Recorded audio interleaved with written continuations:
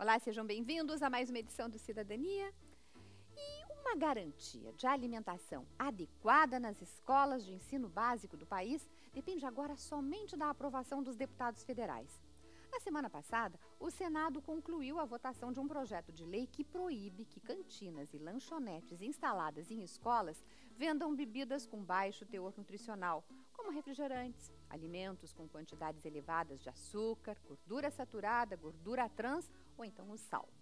E esse é o assunto do programa de hoje. Nós estamos recebendo a endocrinologista e pediatra Cristiane Kopasek e a nutricionista e especialista em nutrição materno-infantil Ana Paula de Carvalho.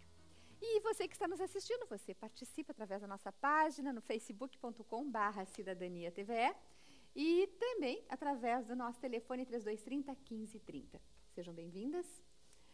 Creio que na área de vocês, de, de, vocês devem estar recebendo, devem estar dando as boas-vindas, ou não? Vibrando muito, Maria Helena. Prazer, uma satisfação estar aqui mais uma vez.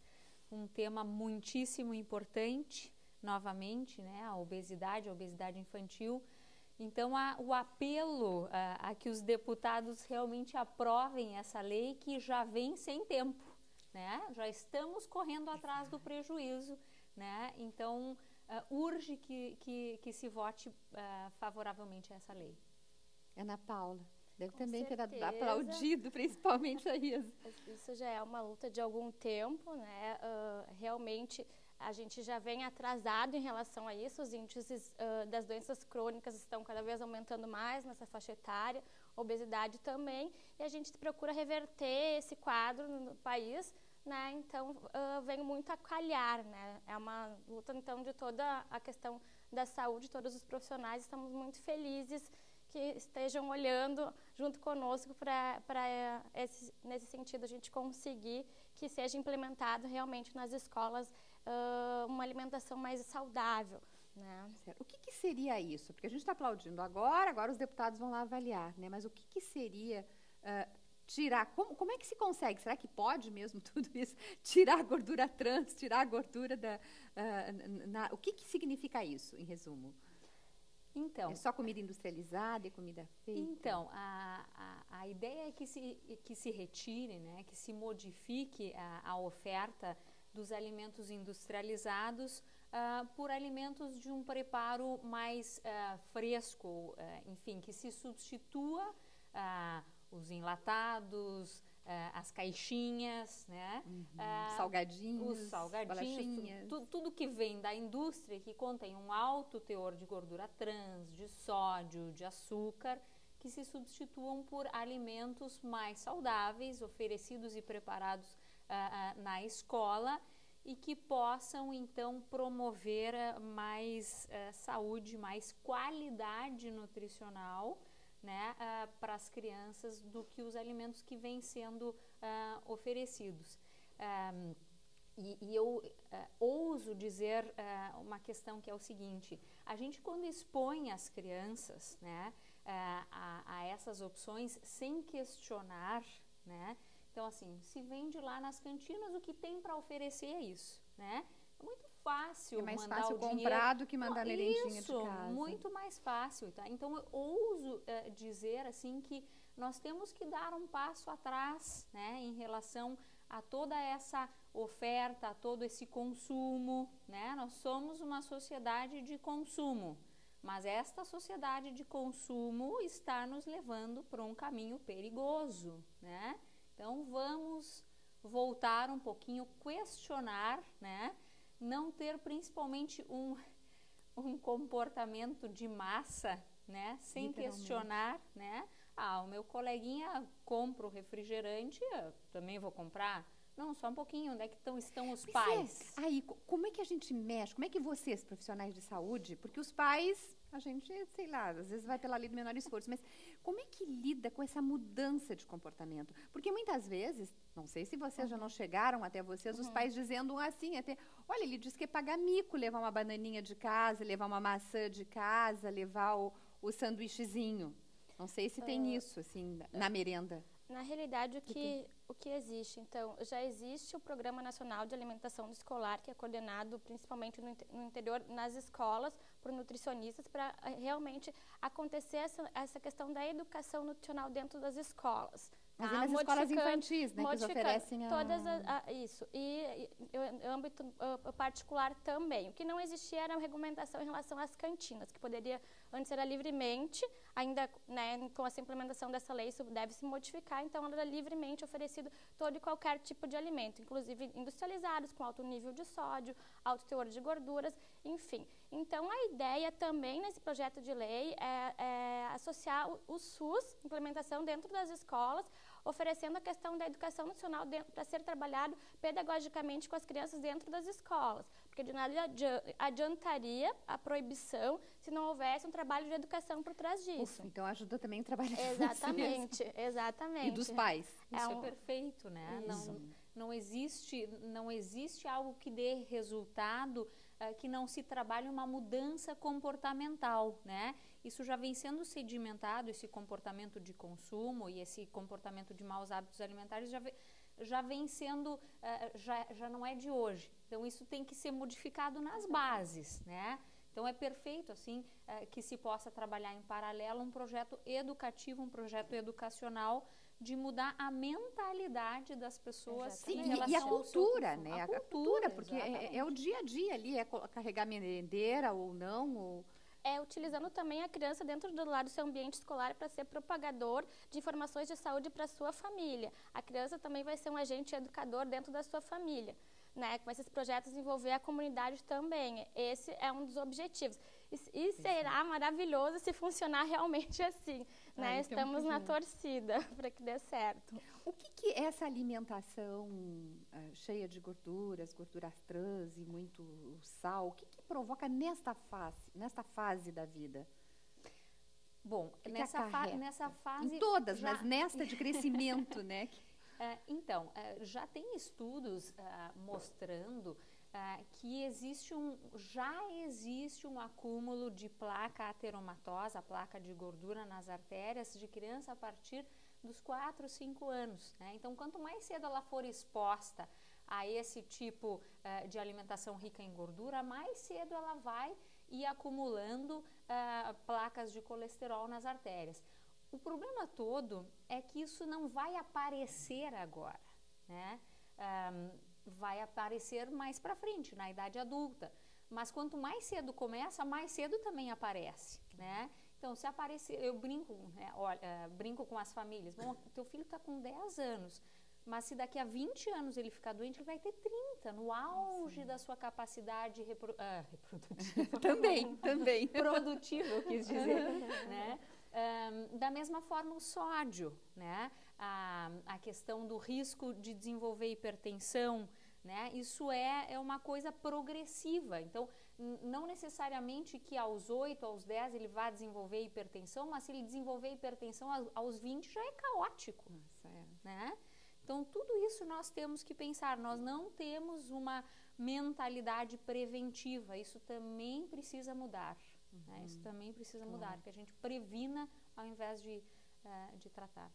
E é mais fácil prevenir sempre, com né, Ana Paula? Né? Com certeza, assim, como a doutora uh, explicou, né, essas doenças crônicas eram doenças de adultos, já aparece a, a, em função dos hábitos de vida, do estilo de vida, que é, é, é, é completamente documentado na literatura, é sabido, apesar da etiologia dessas doenças crônicas ela ser multifatorial, o estilo de vida está completamente associado e esse a gente pode modificar através dos hábitos alimentares, né, a questão do sedentarismo também está relacionada, mas os hábitos alimentares hoje, uh, o que a gente vê nas crianças, uh, já com, com idade, na, na, primeira infância, apresentando do, doenças crônicas, isso é, é, muito preocupante. Pois é, o que vem aqui uh, hoje, né, o, o Ministério da Saúde divulgou uma pesquisa e pela primeira vez eles divulgaram essa pesquisa com, com uma população ah, acima do, de 18 anos de idade, para os 18 anos de idade, e 51% da população brasileira está com sobrepeso.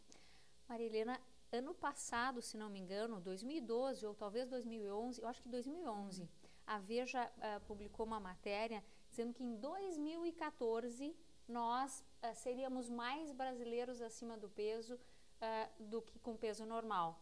Olha a antes. problemática, já estamos adiantando um ano, uhum. né? Já, já não é em 2014, é agora, né? Então, assim, ó, é alarmante, é todas as luzes vermelhas piscando. Urge que a gente mude o nosso comportamento, né? Uhum. Urge que se faça um programa claro. educativo, né? Urge que essa lei seja aprovada. Ouçam-nos.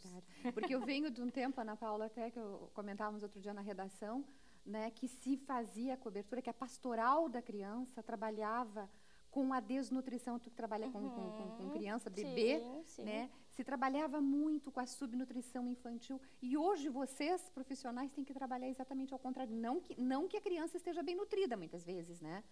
A diferença de estar gordinho e estar bem alimentado. É, é, os dados epidemiológicos do país sugerem esse período de transição nutricional, que a gente tinha os extremos, né?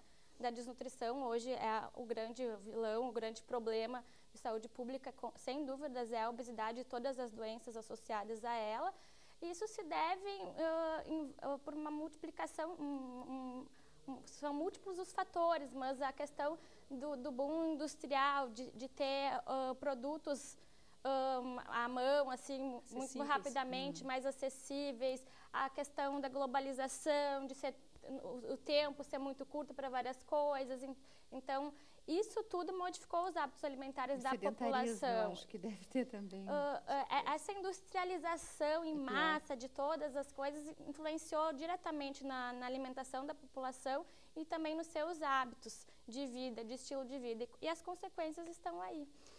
Mas tu, tu lembraste, né, do tempo uhum. da desnutrição, toda semana tem um caso parecido, assim, que a gente atende uma criança que está acima do peso, né, uhum. e que tu vais fazer uh, o, o, inquérito alimentar dela, ela está almoçando em casa, mas o lanche da escola é um arroz com galinha, é uma massa com galinha, é uma batata com alguma coisa. Então, assim, ela está almoçando duas vezes, uma hiper hiperoferta de uhum. carboidrato, tá? Então, assim, isso também precisa mudar. Né? Apesar de a gente ainda ter uma pequena parcela da população com uh, dificuldade de acesso a alimentos, seria muito mais uh, lógico se se identificassem essas famílias de risco e aí então uh, se levasse a elas então digamos um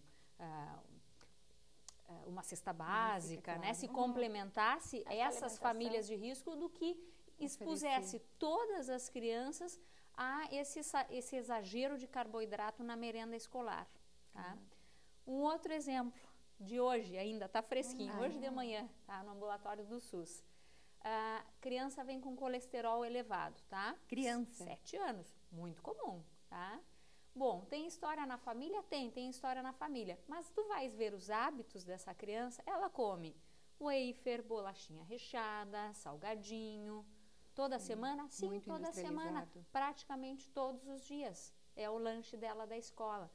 Então, assim, não dá, né? Então, assim, se trabalha toda uma reeducação, toda uma, uma readaptação e as pessoas olham a gente assim como se a gente estivesse falando grego. Mas a mim me parece óbvio. É, parece. Mas peraí que a gente já vai continuar. Claro. Vamos fazer só uma pausa, porque Sim. hoje é dia de dicas aos cidadãos. E a Mariana Baile já está aqui com a gente depois das suas merecidas férias. Mariana, boa Muito noite. boa noite, Helena, convidadas. E boa noite você que está em casa nos assistindo. Esse mês de agosto, nós lembramos os sete anos da Lei Maria da Penha.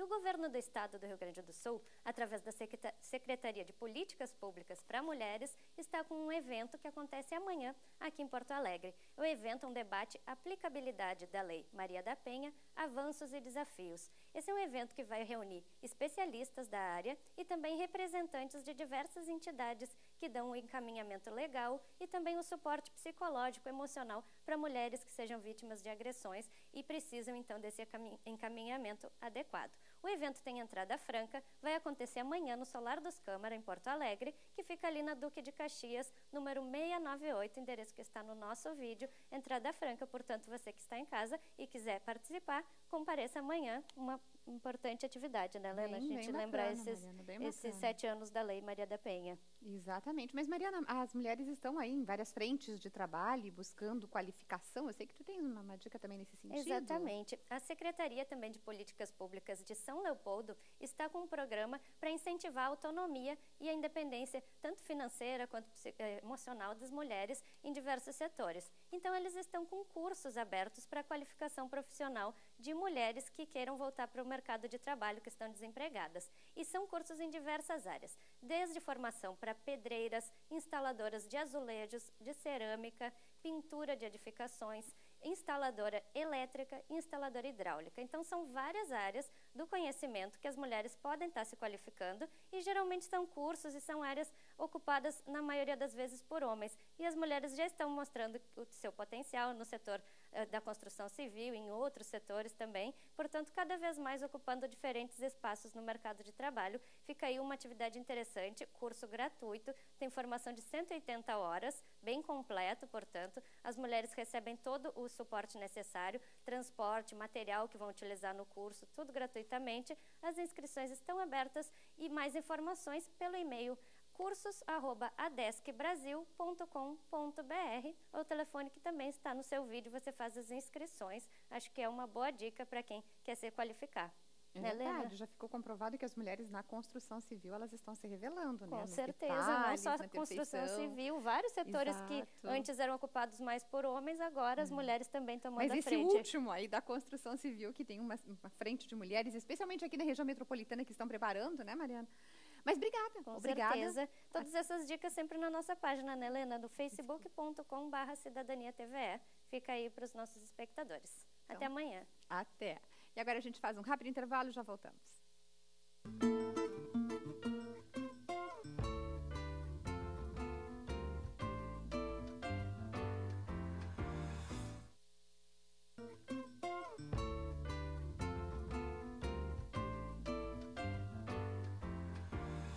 qualidade dos alimentos nas cantinas escolares é assunto do programa de hoje. Nós estamos recebendo a endocrinologista e pediatra Cristiane Kopasek e a nutricionista especialista em nutrição materna e infantil Ana Paula de Carvalho.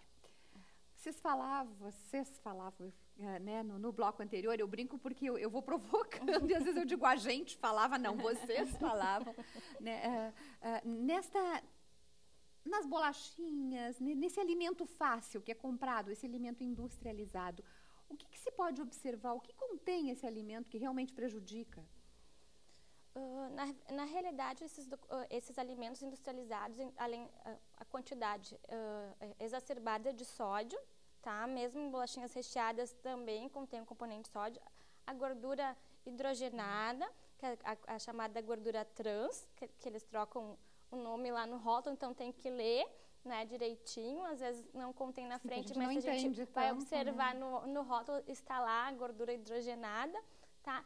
Altos índices de açúcar, sacarose, açúcar branco, né? Então, uh, esses alimentos, todos esses alimentos com alto teor desse, desses uh, micronutrientes, eles não são benéficos para o organismo humano, tá? O, o consumo exagerado desses alimentos vai levar então toda a série de doenças que a gente já estava comentando no bloco anterior e é um uso indiscriminado desses alimentos. Então, tem momentos que vai poder comer lá na festinha de aniversário, quando tiver, mas não tem que ser um alimento de uso usual todos os dias, todas as horas, todos os lanches, só a base desses alimentos. Porque eles não têm, eles têm calorias que a gente chama calorias vazias, eles não têm nutrientes nenhum para uh, ah, nutrir a, aquele, a, aquele indivíduo, tá? Os, vai faltar micronutrientes, vai faltar vitaminas, vai faltar minerais. Então, não são alimenta, alimentos nutricionalmente completos e balanceados para serem introduzidos usualmente na alimentação de uma criança. E, e com, com alguma frequência a gente vê... Uh, crianças que estão, digamos, ou com o peso adequado, mas ou, ou acima do peso, mas que tem falta desses micronutrientes, uhum. né? Tem falta de vitaminas uh, e acabam não desenvolvendo todo o seu potencial, digamos, de crescimento e de defesas, né? Uh, porque se alimentam muito à base de carboidrato, de gordura, né? Uhum. Uh, e uh, se esquece que a gente precisa desses outros micronutrientes que a gente encontra em outros tipos de alimentos, né? Uh, nos vegetais, principalmente, frutas, legumes e verduras. Comida natural, comida perecível, como Na ontem a gente Natural, exato. A, a, natureza é. é. muito mais sábia do que o homem, né? Então a gente, a gente tem que recorrer muito mais ao, ao, ao natural do que ao industrializado e pronto. Sem falar uh, num outro assunto um pouquinho polêmico, né? Mas que é o apelo da indústria. A indústria quer fazer o quê? A indústria quer vender. Claro. E tem uma outra coisa que, na minha opinião, vou mudar um pouquinho o foco, está caindo de madura, tá? Que é a questão de vincular o alimento com um personagem uhum. ou com um brinde. Isso devia ser absolutamente proibido, porque a gente está usando do quê? Uh, de uma coisa que a criança tem, que é a ingenuidade. Né? Ela quer aquilo pelo brinquedo, pelo personagem, porque é do Bob Esponja, porque é do... Entende? Claro, claro. Né? Isso é... A, lá na minha tese, isso é pecado. tá? É? é? É, é, um horror isso. A gente está usando a ingenuidade numa criança. E tudo bem colorido, querer... bem bonito, cheio, né? É, de, de... então isso é inconcebível. Tomara que o próximo projeto de lei contemple também isso, né? A propaganda dos que se faz dos alimentos, tá? Que ela não deveria ser vinculada a algo apelativo nem a algum brinde. Comida comida não, pode ser brinde, a comida não pode ser troféu, a, a, a, a comida não pode ser prêmio. Né? Então, não, é, não é esse o foco. Né? Quando a gente fala em educação alimentar, é outra coisa que a gente tem que focar. Né? São e nem mesmo um pai negociar isso com a criança. De forma alguma. Não é por esse lado. Porque é, muitas é difícil, vezes se né? negocia, né? né? É difícil, porque a gente já é. mergulhou nessa sociedade de consumo.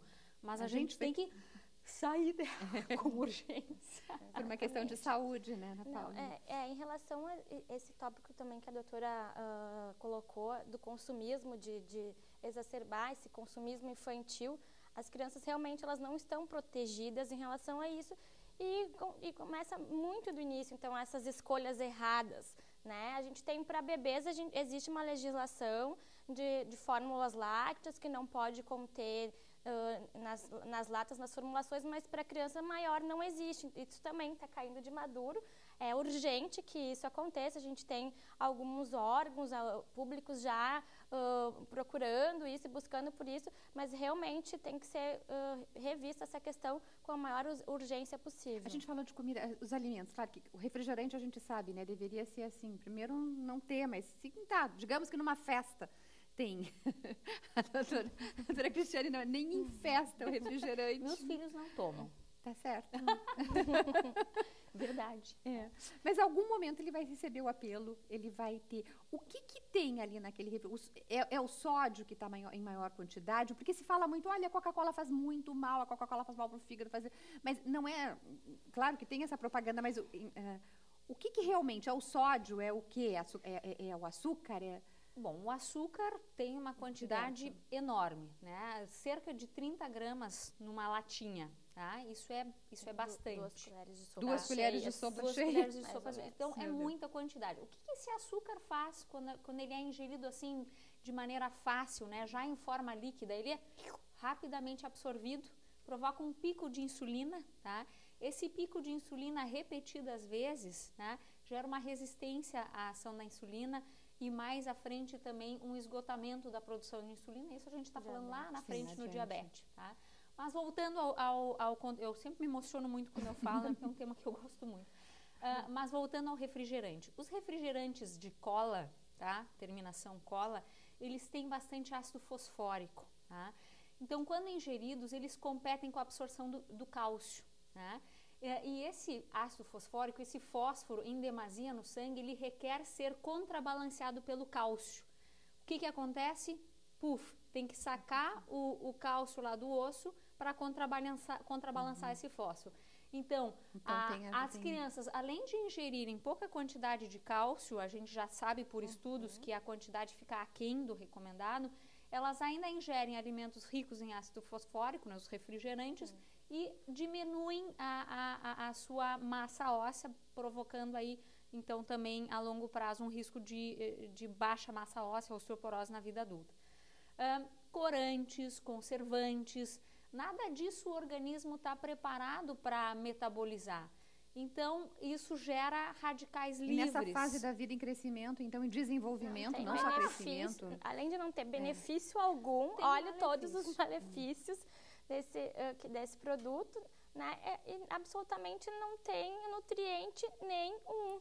Nenhum, não tem na- nada que, nesse, nesse produto que se aproveite. Tem criança que toma isso por água, né? Exatamente. Sabe o que, que eu brinco com os meus pacientes? Eu digo para eles: olha, o refrigerante está no corredor errado do supermercado. Ele deveria estar lá junto com o DTFON.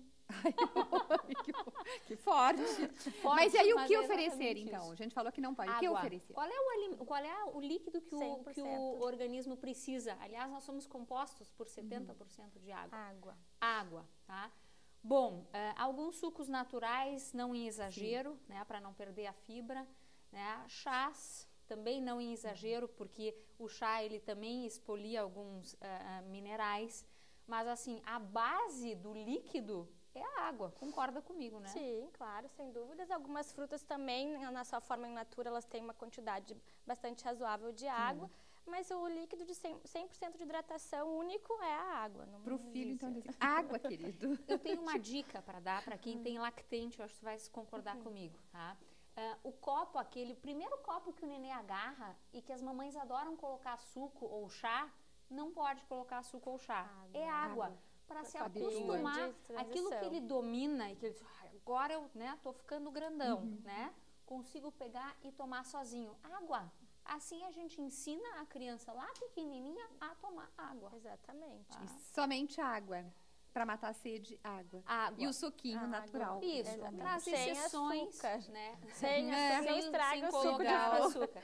Então, nas exceções, nas festas infantis, Claro. como tu falaste, assim, um copinho que outro, uma vez por mês, e olhe lá. né? Então, não vai ser isso. tá? Certo. Espero que a Câmara aprove, né? Que os deputados aprovem. também, Nós implorando. Então, esse projeto daí a gente volta a falar e falar assim, até das deli não falar só do negativo, mas falar aí, ó, de novas propostas. Ai, ó, com certeza, Obrigada é pela prazer. presença hoje. Nós que agradecemos. E até uma né? próxima. Obrigada a você, a sua companhia. Uma boa noite até amanhã.